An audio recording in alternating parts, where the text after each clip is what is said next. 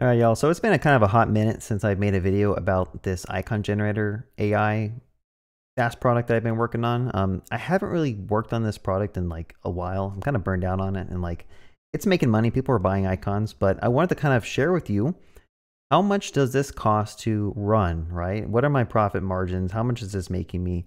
It's been up for a couple of months now. Um, so far we have 12,583 users. That, that means basically users who have created an account using Google. And then they have created 26,477 icons. So let's just kind of explore like what exactly does that mean? How much traffic is that? I'm just going to go ahead and just start talking about the numbers because I think that's really what people are interested in. So how much does it cost to run this site? All right, so if we go to my AWS cost management and go to the home page, basically this thing is costing me maybe a dollar 22 a month. Okay, it's forecasted for a dollar 52 a month, but that's how much it costs to have my next application deployed to Amazon using the SST framework, and that also includes like hosting my Lambda functions. It also includes hosting my S3 bucket. I think I have about 10 gigabytes worth of icons that are stored on S3. So overall, it's super cheap. I think I'm getting charged maybe five cents a day and if I were to actually explore like where are the majority of costs coming from, I think they're all coming from S3. Let me go back to home real quick. And all of my occurring charges are happening from S3. I have about 41 gigabytes a month usage of storage. So 41 gigabytes of icons that users have stored. And these are the amount of requests that are hitting the S3 bucket to kind of fetch those. I could probably do more optimization for like caching and stuff like that. But overall, it's like I don't have to put much effort at all into this site.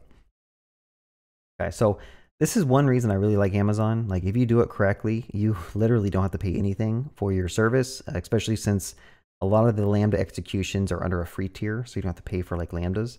Okay, so now let's go over to Stripe. Okay, so I have an icon generator AI um, account, which basically is keeping track of all of the income I'm getting from this. And if I were to kind of zoom out for the entire month. Um, so yeah, I guess the month of June, that's fine. My gross volume is 844. And then after Stripe, you know, takes out all of their, their cut, I get about 740. So 740 has been my, my revenue. Now let's talk about profit because you just saw it costs about a dollar fifty a month to host on Amazon.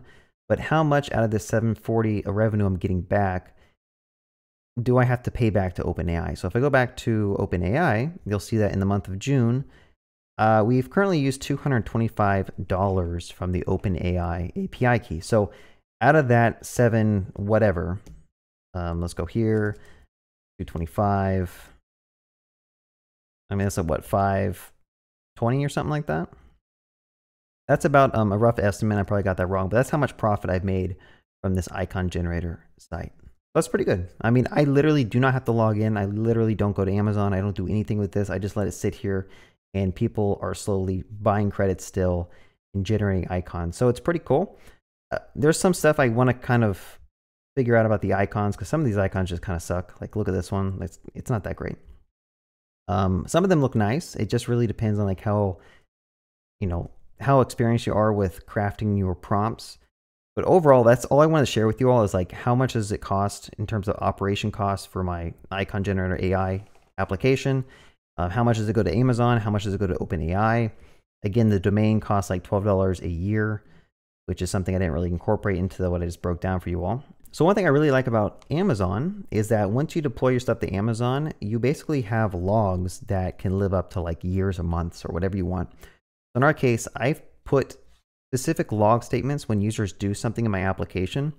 For example, when they generate icons, I can kind of come into log insights and I can run this query to figure out how many people are generating icons over a five minute period over the past week. So if I run this query, I start getting a nice visualization to figure out on like what days is this application most popular, how many people in every five minute bin period are they generating icons, so right here, for some reason, this was a really popular time. I don't know why. Maybe I posted something on social media.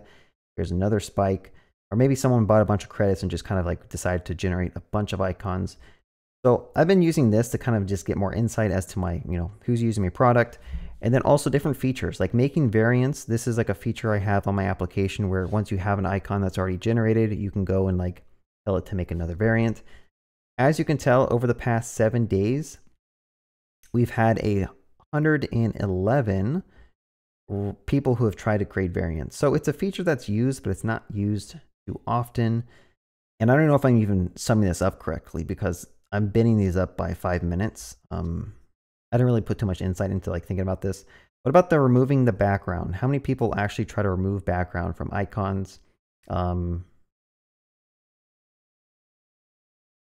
in the past seven days, we got about 74 records. So again, it's another feature that I have, but like not that many people are using it. Deleting accounts. How many people are deleting accounts? Okay, so like 86 people buying credits, bin, generate icons, generate icons. What is this one?